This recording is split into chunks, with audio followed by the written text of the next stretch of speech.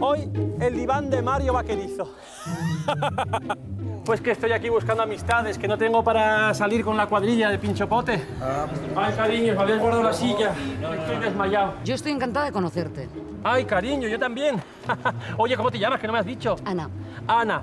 Ay, Ana, cariño. Mi mujer se llama casi como tú, Anaska. ¿Me invitarán a desayunar o algo? Hombre, tómate algo si quieres. Que tú cuéntame, ¿tú cómo te llamas? Yo me llamo Tony Lezama, conocido artísticamente como el oso Tony. Soy cantante también. El oso- Ay, cariño, si somos colegas de profesión. ¿El pinchopote aquí cuándo es? Jueves. Jueves. Pero a la mañana no, ¿no? No, a la tarde, yo creo.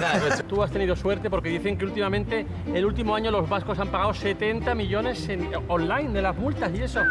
Ni idea, ni idea. No tengo ni idea. A mí no me ha tocado. ¿Pero por, porque rompes la media o porque no eres vasco? Por las dos cosas. He creado aquí un cisco tremendo. Hombre, no. no pasa nada. Mira, yo tengo carnet de conducir, pero no tengo coche.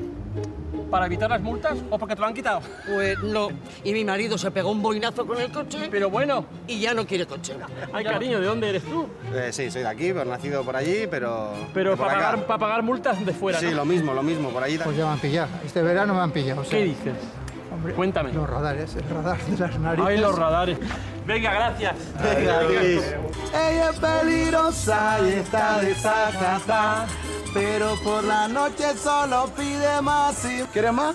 Ay, cariño, me he quedado, me he quedado divino. Eso es flow y lo demás son tonterías. Muchas gracias.